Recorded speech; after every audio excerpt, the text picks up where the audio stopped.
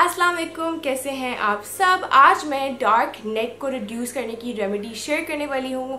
It is a four step remedy और बहुत आसान है आप सब घर में बना के अपनी डार्क नेक को ठीक कर सकेंगे but make sure you do watch till the very very end because जो आखिरी टेक्निक है, वो सबसे ज़्यादा इंपॉर्टेंट है। इसमें सिर्फ़ आपको लगानी नहीं है remedy it is another thing that you have to do और उसकी वजह से ये रेमेडी बहुत ज़्यादा अफेक्टिव हो जाएगी। मैं आप सबको आफ्टर और बिफोर केक भी बताऊँगी, और ये भी बताऊँगी कि क्यों होती है dark neck so please end तक आप सबने वीडियो देखनी है सब्सक्राइब भी करना है मेरे चैनल को, और कॉमेंट्स में प्लीज़ शेयर करें कि आपकी प्रॉब्लम्स क्या हैं स्किन प्रॉब्लम्स हेल्थ प्रॉब्लम्स जो भी हैं इनशाला I will definitely try to cover these topics and make videos on that तो guys dark neck can be cause by a lot of different reason और होता ये है कि कभी कभी हेल्थ कंडीशन भी होते हैं। हमें इंसुलिन बॉडी में ज़्यादा होता है डायबिटीज़ की तरफ़ जा रही होती है बॉडी तो उसकी वजह से भी डार्क नेक हो जाती है।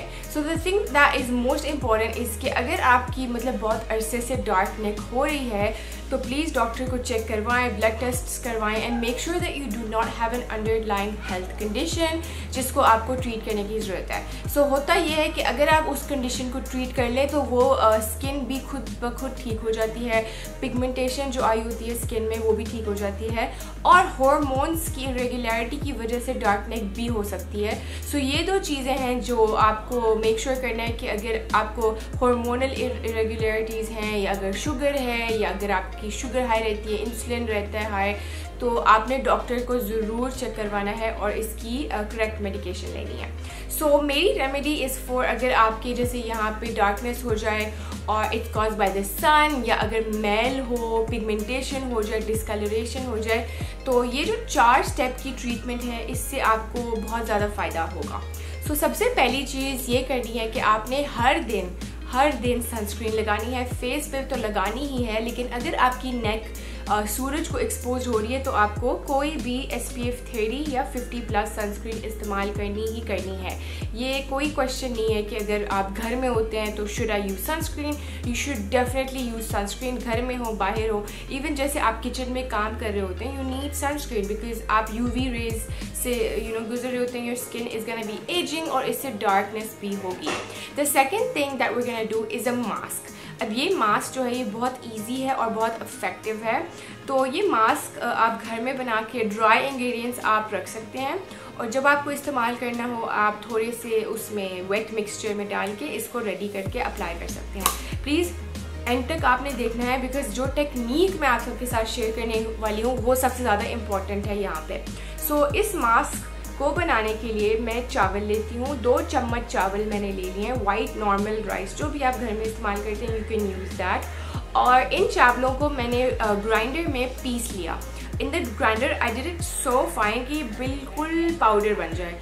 अगर आपको राइस पाउडर मिल जाए that's actually better you can just use rice powder buy it या राइस फ्लावर जो होता है बट अगर आपके पास नहीं है rice flour you can make it दो मिनट भी नहीं लगेंगे आपको और आप ये ढेर सारा बना के रख लें।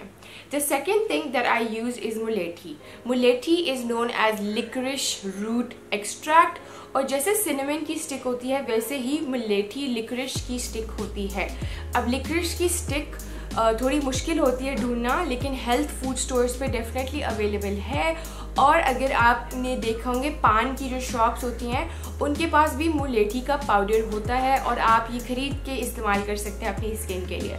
अब mulethi is amazing because it actually has skin bleaching properties natural चीज़ होती है और काफ़ी लोग इसको पान में इसलिए डालते हैं because it help with your digestion तो इसको लेकिन हम पेट में नहीं डाल रहे आज इसको हम मुँह पे लगा रहे हैं और अपने नेक पे लगा रहे हैं। हाँ अगर आपको पिगमेंटेशन फेस पे भी हो रही हो तो ये रेमेडी उसके लिए भी अफेक्टिव है।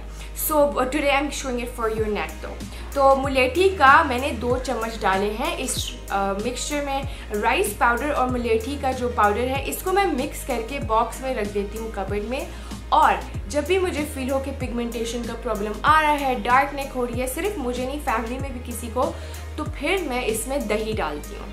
सिर्फ़ आपको एक या दो चम्मच दही चाहिए। इतना चाहिए कि कंसिस्टेंसी अच्छी सी लाइक थिक कंसिस्टेंसी रहे। If you have severe severe severe dark neck मतलब स्किन का कलर कुछ और है, बिल्कुल ही नेक का कुछ और कलर है तो आप इसमें हल्दी का आधा टीस्पून भी डाल सकते हैं, लेकिन मैंने आज नहीं डाला। करना ये है कि make sure that your neck is clean sweat ना हो, कुछ भी ना हो, अच्छे से इसको धो लें साबुन से, और फिर आपने अप्लाई करना है ये मिक्सचर अच्छा इस मिक्सचर को अप्लाई करने के बाद आपने ये करना है कि क्लिंग रैप जो होता है, जैसे प्लास्टिक रैप जिससे आप खाना रैप करते हैं, आपने रैप कर देनी है अपनी नेक और इसको 20 टू 30 मिनट्स आपने छोड़ देना है। सो so, ये नेक की डी रेमेडी आप हफ़्ते में दो दफ़ा कर सकते हैं इस्तेमाल। और एक और चीज़ मैं जो रिकमेंड करूँगी other than this sunscreen is using an A H A and B H A toner अच्छा ये क्या होता है? ये एसिड होता है। ये डेड स्किन को जेंटली रिमूव करेगा। और हफ़्ते में सिर्फ़ एक दफ़ा मैं ये इस्तेमाल करती हूँ। संडे के दिन यूजली इस्तेमाल करती हूँ। और इससे ये होता है कि वो वापस नहीं आती नेक की डार्कनेस और मेरी नेक अलहमदिल्ला अब काफ़ी ठीक हो गई है। I had a really dark patch over here and वो काफ़ी मतलब दो तीन हफ़्ते मुझे लग गए थे इसको रिमूव करने में, लेकिन इट हैज़ रिमूव्ड नेक के पीछे भी अगर डार्कनेस हो, आप ये रेमेडी इस्तेमाल कर सकते हैं। प्लीज़ मेरी वीडियो को लाइक शेयर और मुझे सब्सक्राइब करें, और कमेंट्स में ज़रूर अपना नाम बताना है, और कहाँ से देख रहे हैं, ये भी बताना है। ऑन दैट नो एम से गुड बाय अल्लाह हाफिज़।